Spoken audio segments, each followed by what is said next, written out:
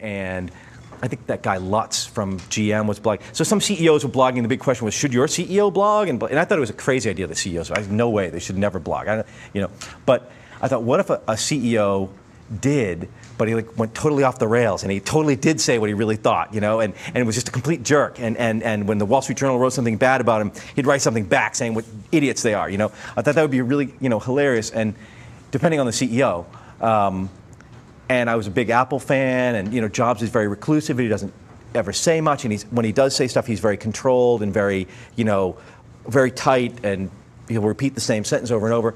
So I thought he'd be perfect, you know, because you know he knows everything about the industry. You know, Schmidt's on the and the more I thought about it, the more I thought like, okay, so he's got Google connections, so you can do Google Dish because he's got a connection there. You can do Sun Dish because there's a connection there. You can do Hollywood Dish because he's involved with Disney and Pixar, the music industry because of iTunes, and even politics. So it was like this lens that you could suddenly riff on all sorts of stuff, but through uh, the point of view of someone who's much more interesting than I am, right? So, um, which was that was the key to it, and, and I did it for like six weeks, and I said, okay, that was fun. I, I, sent links to a couple friends of mine. I didn't tell them who that I was writing, and I just said, oh, I found this blog, and um, they passed it on, and it started growing. And after six weeks, I said, oh, that was fun. I shut it down all these people wrote in saying, "What happened? It was great." And I didn't know, I didn't have Sitemeter. I was so clueless about the internet. I didn't know that you could like meter your blog and anything, right? So somebody told me like put it back up and put a site meter on it. Then you can see what's oh really. So I did that, and I was like, you know, I told my wife like there were like a thousand people this week, you know, like from all over, like you know, people in Russia, you know, whatever, all over the world, in England and all over the states. So I started doing it more seriously then, and then it started evolving as like first it was just jokes then I started adding in like I could actually cover the news through this filter. It was like the Daily Show or Colbert. You could actually you could riff on the news, but you could still actually do real, kind of real coverage, you know. And then I also started doing this fictional stuff where I would have scenes or recurring storylines like a comic strip would have, where something happens on Tuesday and then you build on it on Friday. And before I came to Forbes, I was writing fiction. I did an MFA at University of Michigan and wrote, uh, you know, published a couple books. And I was still trying to write books even when I was at Forbes, but I wrote two and just kept them in drawers. They were serious and artsy, and they didn't really work. And but you know, like if you get an MFA, I, you probably don't have a lot of MFAs here, but you know, literature, just like literature. Or do you? I don't know. No. Uh, yeah. Oh, see, there's one. Yeah. Uh, but um, you know, it's, it's at Michigan anyway. It's very serious, and you know, people would agonize over literature and blah blah blah. So like, you know, it never occurred to me like fake Steve could be like a book, you know, or literature because it seemed like a joke. But um, it was starting to become kind of like that. Like there was this world of, you know, Larry Ellison's a character, and Bono's a character, and Schmidt's a character, and, and Schwartz. So all these people, and they're exaggerated cartoon versions of, of the real people. I think I've never met the real people, but uh, but it was this weird little world, and then I realized like, oh, you could actually make a novel out of this. It was sort of the the, the raw material was there, and the voice was there, and uh, and then the option stuff happened. This SEC thing happened, and I thought like that's going to be really big. I think I was wrong because now it's you know, gone away. But um, I, still, I still think there there may be something going on there. But um, at the time, I thought, oh, so you have a protagonist with a voice, you have a world that they inhabit, and it's Silicon Valley, which is fun and kind of cool. And now you have the impetus for a storyline. So the storyline of the book is that it opens with Steve being told the SEC's after you, the U.S. Attorney's after you, and he's very dismissive and doesn't want to believe it. But you know, gradually they circle in and circle in, and, and he becomes really real to him, like you're really, really in trouble. And uh, and then then the, the question of the story is, well, how do you, how do you get the protagonist out of trouble? How does he get his, get himself out of danger? Which is a pretty pretty straightforward plot of any kind of book, right? Character in trouble and danger has to get out, or you know. Um, so that was the, the genesis of the, of the book. And the, uh, uh, the blog now has continued. I was anonymous for a long time, as you probably know. And, but I was really bad at being anonymous, and I told almost everybody I knew, and I told Forbes back in March, and you know, so like a lot of people knew, I knew like this is going to blow up eventually. This is going to come out. Um, I've known that for a long, long time, but I, I wanted to be anonymous because it was more fun, I think, for people to read it, thinking, you don't know who it is, and it's just kind of like you forget about that there's a guy. I think it's worse to know, like, oh, it's Secret Diary brought to you by, you know, this idiot from Boston. Like, it's just not as fun, right? It's just, you know, now that you know who it is. I think. People are still reading it, so maybe not. But um, I, at one point in January, started to get like, like 90, got to like 90,000 readers a month, and I thought, this is really, you know, big. But I wasn't making any money, I was just doing it, but I could see it was getting bigger and bigger. And, um, someone told me I should shut it down. A lawyer said, you know, you can't, you should, you should stop doing this. You're going to get fired, and you know, it's really bad. And um, so I, I, posted something saying, well, I think I'm going to have to shut this down. And my lawyers have told me this, and um, you know, blah blah blah.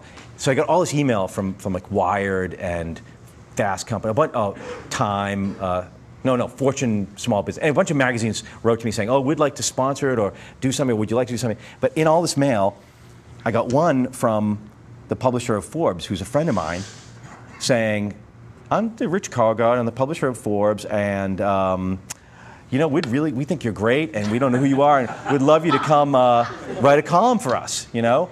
And meanwhile, I had been in Forbes in New York that week, you know, begging for a raise, and, you know, and they were like, ah, you jackass, you know? No. But so meanwhile, the publisher's writing to me, you know, offering, you know, throwing, you know, baskets of money my way. So I, I thought, what do I do, you know? And I, I, I you know, because I know him, I know him really well. So I wrote back and said, well, how much would that pay? You know, what would the, what would the money be? And um, he wrote back saying, well, let's talk about it, blah, blah, blah. And like, so we started going back and forth. And then the guys who, this Forbes has a stake, uh, a Silicon Valley company has a stake in, in Forbes. Bono happens to be one of the partners, which also freaked me out. When they bought the stake, I was like, oh my God, I've been like writing all this stuff about Bono and like, now he's my boss, right? Um, anyway, they wrote to me saying, we love your blog and we think it's great and we want to invest in it too. Who are you? And I was like, ah. so I finally told them. I was like, well, it's me, you know. And then they were kind of like, oh yeah, mm, yeah, uh, yeah, not so fun anymore. You know what I mean? Then no, then then I could see the wheels spinning. Like, oh well, maybe we can get it for free. You know, like aha, you know. Um, I was on this panel the other day and somebody asked a guy a blogger guy from the Washington Post, what's the first thing you would tell someone, if, uh, uh, one of your writers who wanted to do a blog? And, and the answer was, we're not paying you. You know, so um, that's kind of like the, the, whole ethos of the of the uh, the internet. Well, you guys know that better than anyone, right? You're the ones who are making the money. Uh, but um, uh, AdSense, don't mean to say anything, but um, I don't even want to go on about AdSense. But um, where does all that money go? I don't know. I, I, had AdSense one day. I had 500,000 hits in a day, and I looked at my AdSense account. I was like, "You've made nine dollars and seventy-two cents." I was like, "What the?" Right? You know, like, uh, but um, sorry, I know that you, you guys are all. Uh, they, and it's not it's not class you know rivalry or jealousy. Yes, it is. Um, uh, but um, so where was I? I was talking about. Oh, so, so the Forbes guys. So I came, out, I t- came out, told them, and they said, let's try to put it on Forbes.com. And over many, many months, they finally decided, okay, we'll do this, which I think is amazing. So now they're sponsoring my blog, and they're actually paying me to, to write this blog. And the only thing they told me is like, we're not going to have anything to do with it, and don't we don't want you to tone it down or change it or whatever. Uh, so do whatever you want. And um, and I kind of told them like, man, do, do you, like some of the top guys there. I said, do you actually read it? And they're like, no, but we heard it's good. I think, well let me tell you a couple of things that have been on there recently. And they, um, they were like, oh, you know, you know.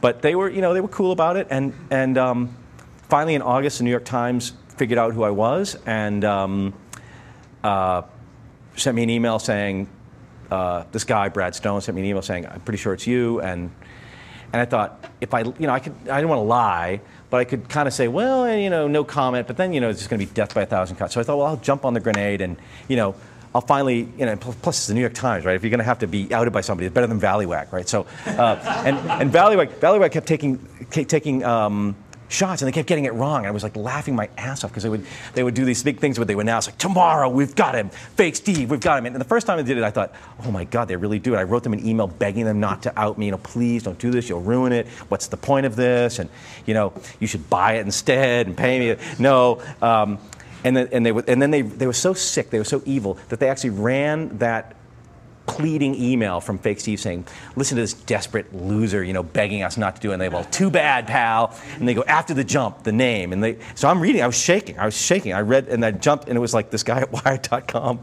who, who I knew I was emailing with him all the time because they were sponsoring the blog at the time. And I was like, oh my God, this is like, this is so great. So then it invented this whole thread of, you know, Nick Denton of Gawker being the, you know, the world's greatest investigative journalist. And we invented a verb called to Denton, which means to, you know, to screw up in a big royal way publicly. and, and at think it actually somebody actually put it into the Urban Dictionary, like to Denton as a verb is now to screw up really badly. Um, and I started writing all these things about Valleywag. Valleywag's about to announce tomorrow they've found Princess Diana. She's living in Dubai, and and uh, and then I'd run a follow-up saying, oh, they pulled the veil back, and it's just a woman who looks like Princess Diana. I found it on the web. I found a picture on like Google image searches, which, by the way, thank you for that. It's really great. Um, I, I found a, like a Princess Diana impersonator who looks a lot like Princess Di. So I had this, you know, Valleywag now has to retract the story. It wasn't really Princess Diana, and um, so I was having a lot of fun winding them up and calling them names, and, and they were emailing me the whole time saying, you know, we're going to get you. And they tried two more times, and they even worse guesses. Um, so that it was all kind of fun. Like that cat and mouse part of it was okay, but actually, when I finally did get uh, busted, I was sort of glad because it was it was tiring to have to, you know have these people were like sending me emails with links that were really just a, a link to try to catch my IP address, and they like, "Oh, it's in Boston," you know, and, and it was like crazy. It was stupid, and and um, so I was kind of glad anyway. There was I, I just don't know if it's going to be if it'll still be fun. People still still seem to be reading it, although the the total numbers are down a little bit since. Um, uh, well, like June, July, and August were big because of the iPhone, and then July for the iPhone, and then August because I got outed. So September was back down to normal, but it's still, you know, it's still, God, it's a really big audience for one person, and it's been kind of fun for, for me to do that as a, you know, the difference is like if I write an article for Forbes print, I write a column now, I write this tech column, you know, I might get a letter two letters, people saying, "Hey, that was nice. Uh, what's the address of that?" company? Like, you know, or, or if it's about Linux, they get right in, they hate me, right, and they, you know, they threaten to kill me and, you know, find my cat and boil it, and so, you know, so, but, but, uh, but basically, you know, there's no real feedback. It's a real disconnect for a print journalist. And then on the blog, as you know, it's like really immediate, and you get feedback right away, like this one sucks, you know, not your best effort, you know, or, or this one was good, and, you know, I'm always amazed, like people are so critical, like. I have two little kids. We have twins. They're two years old and I blog like in the morning when we get up, and the kids are climbing on me, and my wife's trying to run out the door, and I'm trying to like, eh, like check the mail and you know do the comments and bang something out quickly. And then you know in the middle of that chaos, I get one out, and someone around like, this could have been so much better, dude. Like I was like, oh, you know, it's free, you know, you didn't pay for it, but um, or people, I'm now getting. Ever since the Times thing happened, there's people who I don't think were reading early on who only heard about it recently, and they got upset because I, I, used a couple swears and, and uh, like, blasphemy in, in, headlines. Like one being, God damn it. Like Right? I got to think, you know, your blog is wonderful and really intelligent, but I don't think you need to lower yourself to that coarse language. I was like, God damn it, like, that's not that bad. But, um, but so, and then, uh, people get really outraged, like, I'm taking you out of my reader. That's it. I'm, you're out of my RSS reader because you, you know, blasphemed. I'm like, okay. I guess you haven't been along very, you know, haven't been around. I did one about Britney Spears. You know, recently she was photographed again, you know, without underwear. And uh, I had a link to that.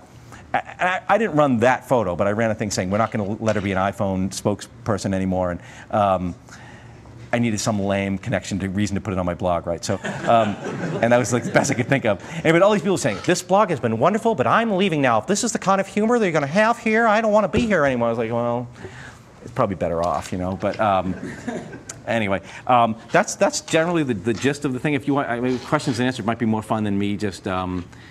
I, ramble, but um, do, you, do, you, have questions or anybody you want anything specific you want to ask about? And oh, by the way, I, I, know I did something about Google like yesterday or the day before, and, and honestly, I didn't do that because I was coming. I did, quite the opposite. I forgot that I was coming here, and um, and um, just now when I got to the lobby, I was like, oh crap! I wrote that thing about Google's in trouble. Like, believe me, Google in trouble is like you know. Uh, the kind of trouble most companies would love to have, right? like, you know, like Sun would love to have the Google in trouble trouble that, you know.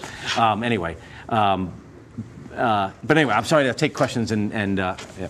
So um, I'm just going to ask if you could repeat the question because. Oh, right, right, okay. On our microphone. So. Sure, okay, yeah, yeah. Go ahead, sorry. wondering if you can comment on your experience with the uh, fake Steve Ballmer. sorry. Um, I, I, mean, my interaction with the fake Steve Ballmer, I don't know who that is, right? I have a theory. I think it's Dvorak. I think he got outed recently. I think, uh, or they claimed it was Dvorak, and it seems to me like Dvorak. Um, I don't think it's very funny, right? And um, I when it came out, he started bombarding my, my uh, posts with comments on everyone with a link to his blog, trying to like draft on my blog to draw people over to his, which is fine for a while. But after a while, it was annoying because he just kept writing these insane, stupid comments, right? And they weren't funny. And um, so I started moderating him out. Um, but um, but I, I, have a theory on why it's not funny, and um, and it's that I think in terms of parody, in terms of doing this kind of thing, like Jobs is a perfect a, a very good target for this in the sense that he has one face to the world of this Zen. He's under control, blah blah blah. But you kind of know from everybody who ever worked at Apple or the books about him that you know behind the scenes he's you know a completely different guy and really difficult and a monster and a diva and all that kind of thing, right? Whereas see, Ballmer to me doesn't lend himself to parody. be- As I, I was at Microsoft yesterday, I told him this. You know, Ballmer kind of just has one face to the world. He's Monkey Boy, and he's up. On, like I said, if you're on stage, you know, with sweat pouring down your arms, and you're running around and dancing, and going like this, like you can't parody that guy because he's already parodied himself, right? Like he's just, he is a parody. I mean, he's just out there, and, and he doesn't care. You know, the thing about Jobs that makes it funny is that Jobs is trying to pretend to be, you know, Namaste and all that stuff. Um, so I, I, I, I had some. I've, he emailed whoever it is that's doing that does email me once in a while or taunts me, and I think I don't read his blog very much anymore. I think occasionally there are things on his blog where he'll say stuff about my blog. Is that right? I, you don't know either, right? Know. Yeah. See, who keeps track of this stuff? But there are also fa- someone told me today um, there are fake fake Steve blogs where there's another fake Steve who's doing like a parallel universe version of my fake Steve, right? And then there's then there's uh, this guy in Canada. I'm not going to say his name on camera, but. Um, but you know who you are, psycho. Um, and he's um, and he he hates me, right? He hates me um, as Dan Lyons. He's hated me. He's had blogs about me as a Forbes reporter for a long time. And then when I got outed for, for doing fake Steve, he was like, "Oh, Apple oh, he couldn't control himself. So he now has a fake. I forget what it's called. But anyway, it's a, it's a blog that's like an anti-blog to my blog. Everything I post, he posts like why it sucks, you know, or, or why it shows that I'm a racist, or I hate women, or blah, blah, blah. Like, uh, you know, so that's kind of, I read it for a little while, but then I was just like, how much, how much of that can you take, right? Um, and his is, his is really mean, you know, it's like really like, you know, I was, I've gained some weight. We had two-year-old twins, right? So I've gained some weight in the last couple of years. Um, and um, I was on TV, on CNBC when I got outed. And at one point in one of the shots, I kind of tilted my head back. I was laughing. And this guy froze frame of it. And he's like, look at this fat bastard. Look at his waddles. He's got a waddle under his neck. And he do a little thing around it. I was like, oh, man, dude, you know, that's not cool. That's not nice, right? But so he's just got like, he's just, he's just got totally and a lot of the, the linux people this is idea in the linux community they hate linux right which is like how do you hate an operating i mean I, I don't know you know I, they don't really care either way i use it it's fine it's nice forbes runs on it you know my tivo box runs it it's cool um, but they, when I got outed, Groklaw wrote this really great. It's actually worth reading to go back and see this because it's, it's fantastic. So they did this analysis. They said like clearly, Fake Steve has been a Microsoft Black Ops operation from the get-go. It was funded by Microsoft, and if you look through the postings, you can see that they often coincide with whatever Microsoft's talking about that month. Fake Steve's talking about it too, like you know making fun of People Ready or you know all this kind of stuff. Um, and then they the, the, went around the bend to suggest that um, the book deal I had was probably a way for the Borg to like fund me, to pay me money, but wash launder the cash through you know Perseus Books that published the book. And it's like, I mean, it's just so around the bend. Like that kind of thing is like. How do you parody that? Like it's just like amazing. I mean, it's like it's already a parody, right? But I, I try to anyway. I've been trying to do like insane Microsoft paranoia stories about you know, but I apply it to Apple. You know, clearly this must be a Microsoft operation because there are no fingerprints and no traces, so that's how you know it's Microsoft because they're so good. You know, I was telling those guys yesterday, you know, like the, you're the puppeteers, you know, who who um, who run the world, and, and really I think they're the gang who couldn't shoot straight. And I mean that bad way. I like Microsoft, but you know, I don't think they're as demonish, uh, you know, uh, devilish as, as uh, people make them out to be. I'm sorry. Another uh, question, if you, uh, yep.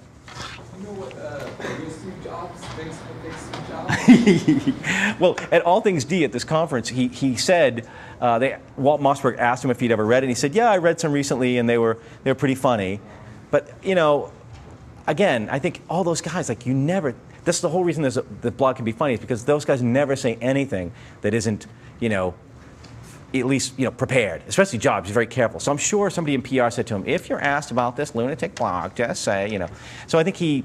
But I know one of his PR people had bought a bunch of T-shirts from the Cafe Press shop, and I think men's sizes. I think they were wearing them around Apple one day or something for a joke, and I, you know he probably gets a kick out of it. And um, th- at the time that he said that, I had just posted. It was when he and Gates were going to appear together at All Things D and I was writing these things about, and it was all supposed to be this like historic summit. These two statesmen of the industry are going to meet and talk, and but I was writing these things saying like, no, Gates, I'm going to kill you. I'm going to tear your head off, you know. And and I had this thing where he was going to he was going to let Gates get up on stage and then be really late and let let Gates sit there and sit there and sit there and get really nerdy and nervous, and then the door would fly open, the lights would come down, and like the immigrant song would come on, and you know Steve would come out swinging a broadsword like this, you know, and and um, and and I, I, was thinking, like, if the, if, if, if the real Steve Jobs read that, I hope he would laugh. Like, I think he would get that. I think he's probably got a sense of humor. He'd probably think, like, yeah, that's pretty funny, you know.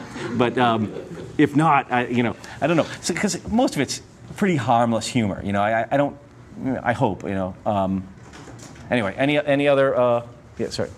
Um, so, what do you say to the accusation that the Canadian guy is actually you and that this is just publicity stuff?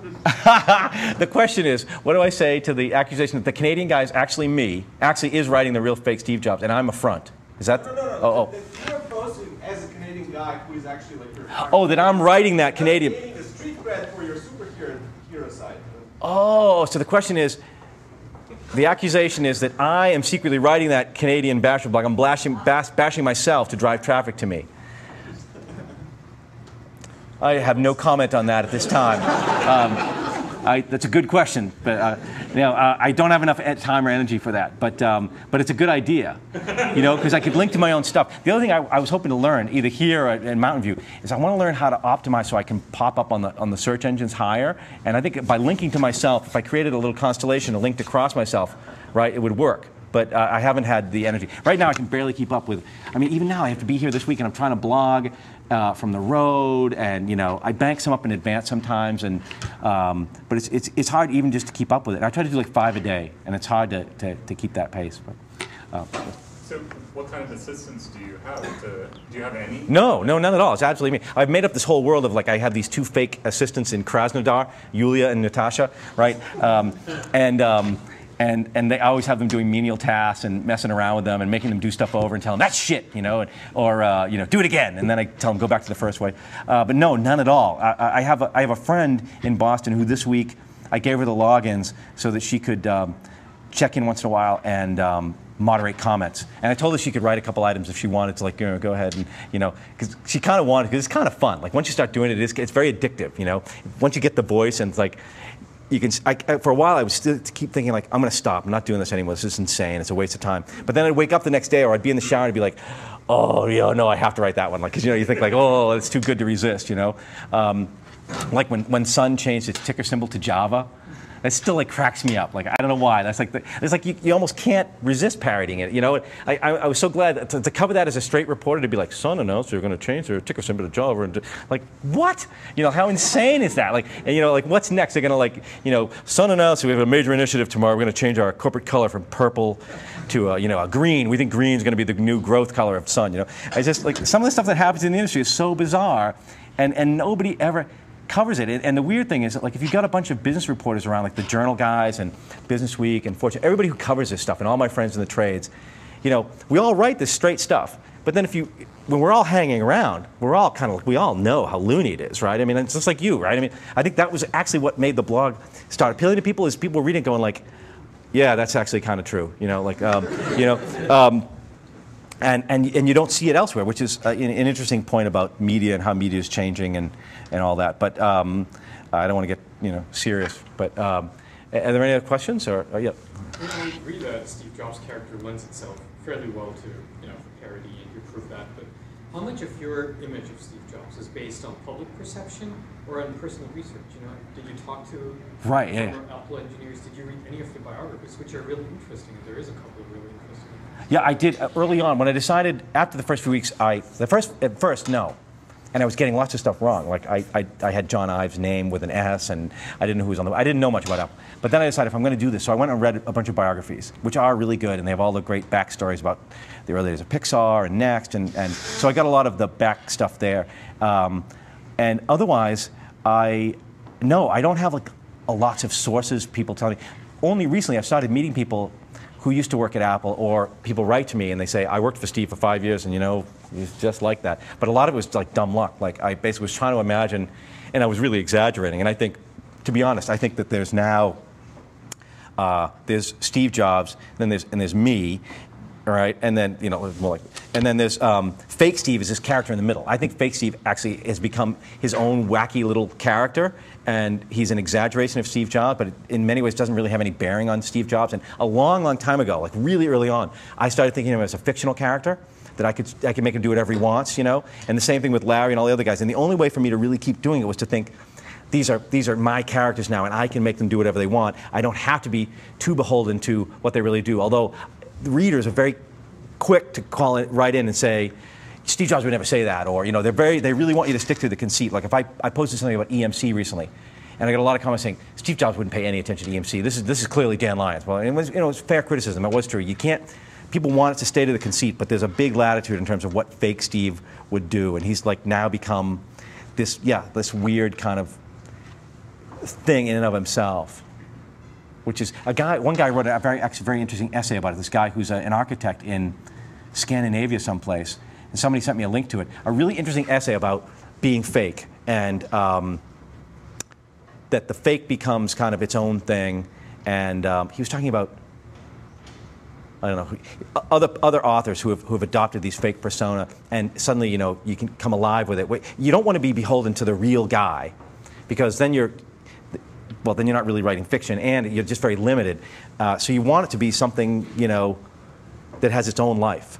Um, but it, it's an interesting, interesting, um, uh, interesting, weird world to be treading around in. But sorry. What do you know about uh, who Steve Jobs is behind the scenes? His personality. Oh, I just make it up. Just make it up. Well, then, uh, some things I've heard. I mean, if you read the biographies, you hear about him. You, you hear certain stories. Like um, in the book, there's, a, there's an anecdote where it opens with him sitting in a, in a meditation room, the Tassajara Zen room at the, at the Apple Center, which I, I don't think there exists, right? I mean, I'm making up all the stuff about Apple. But he's in his meditation room and he's gazing at a circuit board and he's non thinking about his circuit board, right? And it's the circuit board for the iPhone. And, um, and it works, but it, he thinks it's ugly. And so he's telling the engineer, he's told his engineers, this needs to be more beautiful, and I'm going to meditate. I'm going to non-think about it for a while, then I'll bring it back to you. And you, you know, and they're all pissed because you know they already works, and they're electrical engineers, and he has a big fight, and he ends up firing a guy over it. But the point is, that's actually a true story from uh, one of the biographies. I, I, I lifted that in the sense that when they were building the first Macintosh, and he got involved in the in the project finally, he went down and saw the motherboard and said, "No, wait, no, you can't. That's no way. That looks. They can't have that. It's too ugly." And they were like, "Yeah, but it works." And you know, and there's a reason why this big chip's over here and the little chip's over here, and you know, I don't know any what. And he's like, no, "I don't care. I, I want you to do it. This one should be here, and these two like this." And they're like, "Yeah, but it won't work. You know, we'll have leakage and stuff." And he's like, "Just do it. Just try." it." So they, they actually spent like months trying to like make a circuit board work based on what he thought was pretty. Only, and, and again, of course, and they didn't plug it in. It wouldn't work. And, it, and finally, finally said to him, "Look, dude, it's just not going to work," you know. And he said, "Okay, fine." But and his and their point was like, nobody's going to see it. It's inside. He said, "But like, I'll know it's there," you know. And that's you know. And they're like, "It's you can't even open this box, right? It's going to be a sealed box." He's like, "I don't care. Everything about this box has to be perfect." Which, I mean, so if you read that anecdote in a biography, just think about it. Like, I mean, you could get a lifetime's worth of riffing out of it. Like, what does that, that one anecdote tell you about that guy as a character, right? I mean, it's phenomenal. So I use that as a, a, direct lift, but then also in terms of informing how he must be around people. You know, and I've heard, you hear enough stories of him, like, you know, um, like the famous, one famous one, not famous, but one I've heard that, that captures him is, okay, uh, some big business magazine, it wasn't us because they don't talk to us, but it was um, maybe Fortune or Business, somebody sent a photographer to do a cover shot of Jobs. And the guy gets there and he says, okay, um, scout around for a location. Well, we're thinking here in the, in the conference room would be good, and this is a nice background. He sets it up, and they set the lights up, and they, they do Polaroids, and they shoot a guy. And, and then Steve walks in and goes, "Mm, no, I don't, I don't like it. I want to go outside. And like, but you already told us to do it inside. You're not out, first we were going to do outside. No, no, no. Now I want to go outside. So they take everything down. They go outside. They set up the lights. Blah blah blah. They do the whole thing. They take the Polaroids, and then somebody comes down and says, uh, "Steve doesn't want to do outside." He says, "Let's just go back to the conference room where we're going to be." So they slap everything back upstairs. They set the lights. Blah blah blah. Blah blah. They take the Polaroids, and uh, they come in and say, "Okay, we're ready to go." And like, "Ah, you know what? Uh, it's four now. St- Steve will be here at five. Can you wait?" Uh, okay you know, five comes, six comes. Finally, someone says, "You know what? Um, Steve just doesn't want to do it. Steve just he's not in the mood. Steve is just not in the mood today. He's gonna he doesn't want to have his picture taken. It looks too corporate." And, and then they all just leave, you know, and that kind of thing of like, you know, uh, you know, uh, abusing underlings or. Um, and I like to riff on the idea that you know he has this image of being this ultra, perfectionist and this eye for detail, and everything is so perfect. Um, so I sort of exaggerate that. So you can pick up traits just on what you read about him, and just exaggerate it like in a cartoonish way. So a lot of it is that. I, but you know, I don't think anything in my book ever, ever has actually happened. You know, or another thing of exaggeration is they're really secret at Apple, right? They're really secretive and they never tell you what they're doing, and they go to great lengths to not let anybody in the building and blah blah blah. So you know, I exaggerate that. So I have the iPhone guys working in this lead-lined building where so spy planes can't do ultra, you know, whatever, see into it, and Steve himself even can't go into the building, and um, you know, you can you can just exaggerate all the you know the the, the uh, Israeli commando security squads and stuff. So you can you can really go g- broadly overboard about how Apple guards its its secrets. You know, so I mean, you take a few bas- basic traits: preciousness, pretentiousness, blah blah blah. You know, and you go from there. Um, any questions or? Uh, uh, So have you gotten any interesting comments back from anyone else that you read about on the blog? Like, like I'm going to kill you when I meet you. Those kind of things. No, um, you know, like the Microsoft guys. As soon as I got outed, they, I, I had friends there for a while, uh, or people I deal with a lot, who were writing me while going like, "Dude, this is you, isn't it?" I was like, mm, yeah. but uh, because they could tell like I did too much stuff about Linux and and, and open source and um, uh, stuff like that, and they kind of knew that was a giveaway. But um, uh, no, they call me right away. And they're like, dude, we want to have you up, and you come up and give a speech, and blah, blah, blah. Like, they totally love it. And, you know, and, and, and people often ask me, like, what about this? You know, you call Bill Gates a beast master. And I'm like, yeah, but, you know, I don't think he cares, you know. He, I, at first, I don't think he reads it, but like I think he gets it. It's a joke, you know what I mean? Like it's it's the exact the joke is that you know Steve is so obsessed with like you know like like Ahab with the white whale, and he's like you know obsessed with Jaw uh, with with Gates and you know blah blah blah. And why does they have why do they have 95 percent market share when we have better stuff? And so you know, uh, it, you know, it's, yeah, I think they're okay. Um, Sun has never contacted me. Sun, Sun, um, I, I, and I deal with those guys, so I know them, but they have never, ever, um, never reached out to me at all. I think they don't like the My Little Pony thing.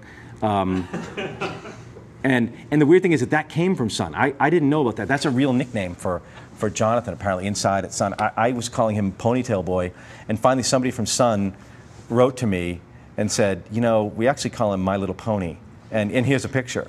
And I was like, oh, thanks. So um, there, there are some people who I think, you know, but most of, most of what I get is not like leaks from co- companies, you know, I don't, I don't think. But, uh, but no, uh, you know, look, I'm here, right? I mean, um, I definitely have made some jokes about uh, Google and, and Sergey and his Legos. And um, now I've never met those guys and probably never will, right? But um, I had, oh, Sergey had an Uncle Fetch. I had this fake character. Sergey had this uncle, this crazy uncle who came over from Krasnodar. That's how, that was the first link to Krasnodar. Um, and uh, Uncle Fetcher came over to live with Sergey and was, uh, he always had this dream to take a bath in a tub full of caviar with like two strippers or something. And so, so Sergey says, oh, whatever you want, you know, go ahead, do it. And, um, you know, I tried to, to imagine like what would be the ultimate just gross thing, you know, somebody would do with all the money in the world. What would you do? I guess buy a jumbo jet and fly around. I don't know. But, um, uh, um, but so, and the, and the Google guys are in the book too. At one scene in the San Jose Jet Center where Steve and Larry are hanging out with a guy who's something like Andy Grove.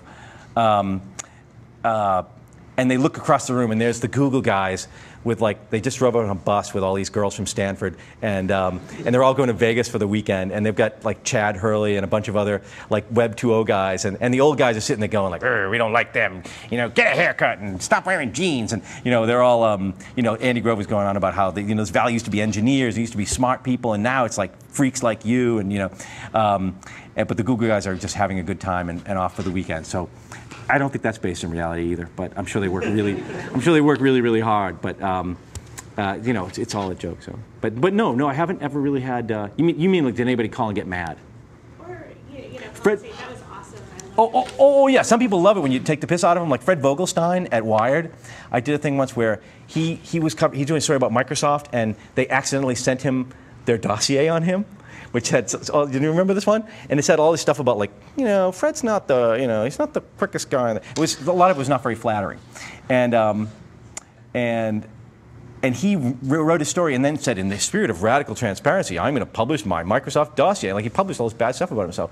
So I thought, oh, that would be good. So I did one saying, well, Apple feels like we should publish our dossier on Fred too. so I had, I had Fred's dossier with things like, um, you know, Fred lost his virginity at age 34 in Thailand. Uh, you know, Fred is very sensitive about his clothes. Don't stare. You know, Fred's SATs 520 uh, verbal, 420 math. Just FYI. You know, uh, Fred drives a uh, Fred drives a Celica. Doesn't know it's a chick car. So, um, and I think he was pissed at first. But he, he has since written to me and he said like, dude, you know, that's funny. And I'm supposed to meet him, I think, when I'm out there. And you know, he was he was okay with it. I think, you know, I, I pick a lot on journalists more so even than than uh, the executive kind of people. And I think that's kind of more fun. Um, and most of them, I think, get it and they're okay with it. And you know, they're they're a guy at the Journal I, I made fun of a couple times wanted to meet me in Seattle this weekend, but I didn't know if it was a trap, so I didn't go because I thought, you know. Um, uh, but no, no, I think most people most people think it's harmless. You know, it's like being in a comic strip. You know, whatever. Uh, any other questions or? Nope, that's it. Okay. Uh, well, thank. about- Oh, oh. about, um, What does fake Steve Jobs have in store for Google? For Google, well, we do. I do actually have this this org chart, this this fake Steve version of an org chart that's a little upside down, um, and we're going to publish it and like this, like Al Qaeda most wanted list. I posted this. We re- I really do have this thing. Some, someone someone spent a lot of time making this, and. Um, and as people leave, as they vest and leave, we're going to just like put an X across them, you know, boom, boom, boom, and like keep coming back to it. So that'll be um, that'll be one funny thing. I don't know. Are you guys all all like independently wealthy now? And you're just like not going to work anymore next year or something? Is that is that the big exodus is coming? Yes. We've hired a lot of people in the last couple of years. Oh, they're not they're not the big Richie Rich ones, right? I see. Okay, but the guys, I, I I went to a party recently in, in Atherton, hosted by a bunch of oh, there was a bunch of Google people there, and boy, I felt really poor. I was like, what a schmuck am I? Like, man, look at these people. I mean, it's just like sick. It's sick what they've done to the valley. I mean, you know, as it says in the book, you know, of course people hate us. You know, they've got this whole generation of people driving around in Ferraris. You know, like nerds, nerds with sports cars. You know, and um, Larry is going on about why people hate people like Larry. Uh, but anyway. Uh, his, his theories are just jealous. But uh, but anyway, so for Google, you know, nothing but love, really. You know, it's all love. And um, and uh, I mean, come, on. Like, and somebody somebody actually said to me, "Do you think they get mad?" And I was like, "Come on, like." Do you think Eric Schmidt gives a crap or Sergey Brin? Do you think they care? I mean, I, I, would you trade places with them and like have some lunatic blogger make fun of you once in a while? Like, definitely, I would definitely take that trade, right? Yeah, absolutely. I would definitely love to be. Same with Gates, you know, or Ballmer. Maybe I don't know. But um, uh, you know, but uh, no, actually, Ballmer's really great. Ballmer's like a really good interview. Like I have all these guys to talk to for an interview, he's one of the few who like really like let it rip.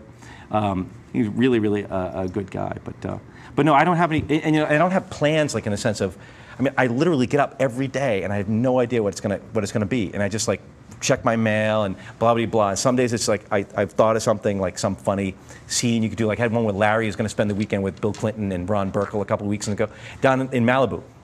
And then, you know, it's kind of out of control, and Larry calls on Saturday, and he's incoherent, and he can't talk. And he's like, oh, and you hear Clinton in the background, and there's, you know, a party going on. But um, it's probably, probably not very nice, right? But, um, and, you know, but Larry is like the, the playboy best friend, the best pal, the sort of comic relief guy. So uh, some days I'll wake up and just have a Larry idea. Um, I, I, I never really know. I honestly, I have never any idea what's going to be from day to day. So, and, and eventually I think it's just going to run. I'm just going to wake up one day and it's like blank, right? Like nothing, and then it'll just stop. But you know, um, are there any any other questions? No. So, uh, have any other public figures tempted you to create another persona? Yeah, I, I, Hillary. I think Hillary is ripe for one. And um, I mean, don't you think? I mean, it's the same same deal because there's one face to the world, and then you know that behind the scenes she's like, you know, all right, here are the people we need to have killed. Boom, boom, boom. You know? And uh, so, oh, this is on YouTube. Um, so no, I, I, I think she's really ripe for it, and and um, she'd be good. Um, somebody had a Schwarzenegger. Uh, fake bug, but it was video. It was really good. Somebody in LA probably works in the movie business. It was a cartoon head of Schwarzenegger and a, and a talk, you know, voice, and uh, but a pretty good impersonation. And it was the same kind of stuff like I do, like you know, but really kind of rude. And um, but it really worth checking out. If you look up fake Arnold or something, I don't know what it's called, but it was it was actually good. Um, yeah, I don't know what other figures. You have to get someone who is kind of pretentious and kind of presents one thing and then is is really a different way, you know, or or just someone who's kind of preposterous. Like Posh Spice would probably be a good one for if you're into that world, or Lindsay Lohan. I, I don't know. Uh, Britney Spears, probably. Um, just because it would be such a train wreck, but I'm not, I wouldn't know enough about that world to write about them. Same thing with the politics one, like the Hillary thing. I'd like to do it, but I don't really know. You need to be sort of immersed in the world so you can get the, the, the thing about the fake Steve thing is all the gossip from around the whole industry of knowing that, you know, how IBM is, you know. So you, and I, I don't know enough about the world of politics and consultants and who those guys are to do that. Wall Street, probably another one that you could do. Uh, somebody on Wall, there's got to be some preposterous figure on Wall Street. Hollywood, God knows, there's got to be like 20 people in Hollywood you could do, right? Uh, Michael Eisner, I think, would be a good one. Um, uh, or Michael Ovitz, right? He'd probably be a good one. I, I, I don't know, but um, there is one. There's a Nick Nolte fake blog. Have you ever seen this? It's really bad, but it's, it's, it's funny, but it's like sick. I may have, they may have been dropped. I saw it early, early on. You just do a Nick, look for Nick Nolte's fake blog, and it's really off the rails and kind of like Nick's always out of control, and he's got a, he's got a sidekick. I forget the sidekick's name. Yeah, so, um, anyway, any any. Doug, Doug Mirabelli, too. There's a what? Oh, really? Yeah. So I think it's caught on now. Like there's, there's a fake Al Sharpton. Well, there's one in New York, a company called Newsgrover has a whole constellation of fake blogs. And this is actually a really good fake blog story. So they, they did one with Al Sharpton. And when Michael Vick got arrested for the dogfighting thing, they had fake Al Sharpton blog on it saying, you know, this is racist. If, if Michael Vick was a white quarterback arrested for dolphin fighting with dolphins and spears on their heads, you know, he wouldn't be being arrested for this. You know, he'd be celebrated for that, right? So, fine, fair enough. Except that MSNBC like read this and picked it up and said, the Reverend Al Sharpton weighed in today on the Michael Vick scandal and ran a real story about it, like quoted this, right?